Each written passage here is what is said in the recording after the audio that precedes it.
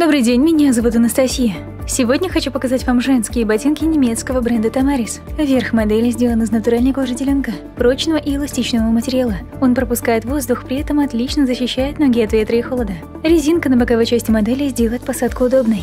Молния поможет убываться быстро и легко. Подкладка из текстиля приятна на ощупь, она устойчива к стиранию. Отлично впитывает влагу и пропускает воздух. Ваши ноги дольше останутся сухими. Текстильная стелька долгое время сохраняет свой внешний вид.